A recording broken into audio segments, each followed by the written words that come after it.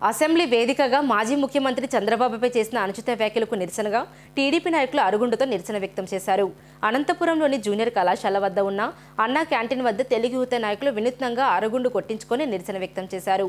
ఈ సందర్భంగా తెలుగు యువత నాయకులు నారాయణ స్వామి సుధాకర్ యాదవ్లు మాట్లాడుతూ నలభై ఏళ్ళ సుదీర్ఘ రాజకీయ అనుభవం ఉన్న నాయకుడిపై కుటుంబ సభ్యులపై అనుచిత వ్యాఖ్యలు చేసి అవమానించడం సరికాదన్నారు. ముఖ్యమంత్రి జగన్మోహన్ రెడ్డి మరియు మంత్రి కొడాలినని చిత్రపటాలకు చెప్పుల దండలు వేసిన నాయకులు ఆందోళన చేపట్టారు.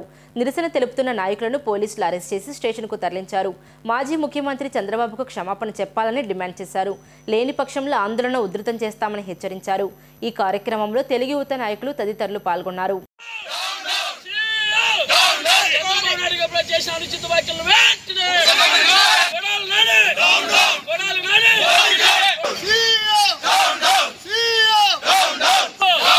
అంబటి రాంబాబు! అంబటి రాంబాబు!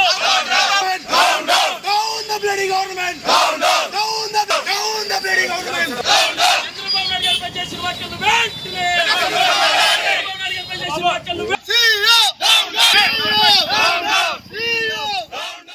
సాక్షాత్తు హిందూ సాంప్రదాయ ప్రకారం అసెంబ్లీ అనేది ఒక దేవాలయం.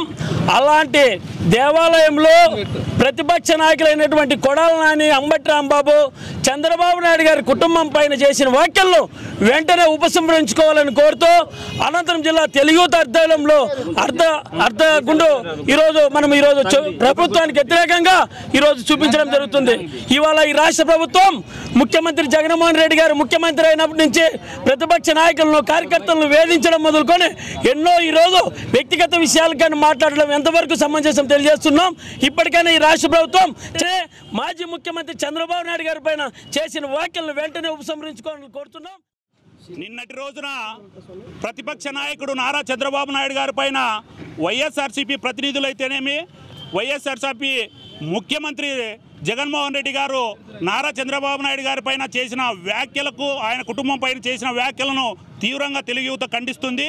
అంతేకాకుండా జగన్మోహన్ రెడ్డి గారు అధికారంలోకి వచ్చినప్పటి నుంచి ప్రజల అభివృద్ధికి ఏమాత్రం పాటుపడకోకుండా ప్రజ ప్రతిపక్ష పార్టీలపైన ప్రతిపక్ష నాయకులపైన వారి కుటుంబాలపైన విద్వేషాలు విధ్వం విధ్వంసం చేయడమే పనిగా పెట్టుకొని చేస్తున్నాడు.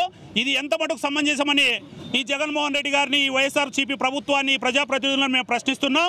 నిన్నటి రోజున సాక్షాత్తు అసెంబ్లీలోనే జగన్మోహన్ రెడ్డి గారి ఆధ్వర్యంలోనే ఆయన ప్రజ ఆయన ఎమ్మెల్యేలు చంద్రబాబు నాయుడు గారి పైన చేయడం ఇలాంటి మాటలు మాట్లాడడం ఎంతవరకు సమంజసం కూడా మేము అడుగుతున్నాం.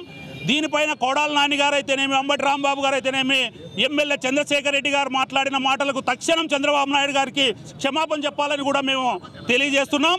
చంద్రబాబు నాయుడు గారు చేపట్టిన ముఖ్యమంత్రి అయి అసెంబ్లీలోకి వస్తానన్న నినాదానికి తెలుగు యువత ఆర్నిసులు కష్టపడి తెలుగుదేశం పార్టీ అధికారంలోకి వచ్చే విధంగా మేము ప్రయత్నం చేస్తామని కూడా ఈ సభాముఖంగా తెలియజేసుకుంటూ జగన్మోహన్ రెడ్డి గారు ఆయన ప్రభుత్వం చంద్రబాబు నాయుడు గారికి క్షమాపణ చెప్పాలని మా ప్రధాన డిమాండ్.